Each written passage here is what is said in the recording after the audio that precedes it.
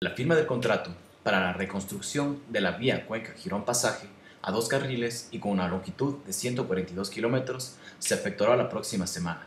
La obra se ejecutará con una inversión de 29 millones de dólares y plazo de 12 meses entre el Ministerio de Transporte y Obras Públicas y la constructora Sinohidro.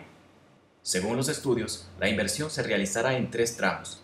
El primero corresponde al tramo Cuenca Lenta de 55 kilómetros, donde se colocará una carpeta de asfalto de 4 a 6 pulgadas sobre la capa de hormigón que se encuentra deteriorada por el paso de volquetes que llevan materiales desde la cuenca del río Jugones. El segundo tramo es Lenta, San Francisco, de 40 kilómetros, donde se efectuará la reconstrucción total de la vía mediante la colocación de base, subase y carpeta asfáltica de 4 pulgadas.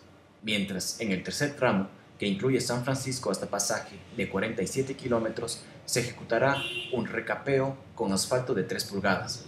Luego de la firma del contrato, con la entrega del anticipo por parte del Ministerio de Transporte y Obras Públicas a la compañía Sinohidro, los trabajos iniciarán en un mes. Fernando Pesantes, coordinador regional del Ministerio de Transporte y Obras Públicas, expresó que una de las vías que falta por reconstruir dentro de la red estatal de la SUAY es la cuenca Girón-Pasaje, específicamente el tramo Lentag-San Francisco, que es el más afectado de los tres.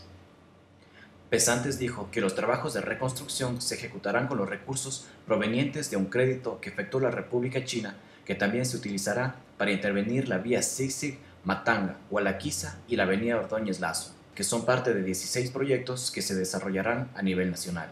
Sobre el tramo Lentac-San Francisco, Pesantes dijo que su estructura estará deteriorada. En el 2012 se contaron con los estudios para rehabilitación de la vía a dos carriles. Paralelamente se puso en marcha el Plan Estratégico de Movilidad del Ministerio de Transporte y Obras Públicas, que entre sus objetivos está construir superautopistas que unan las distintas regiones del país, siendo una de estas la vía Shud-Machala. Por tal motivo, se firmó un contrato complementario para que se elaboren los estudios a cuatro carriles.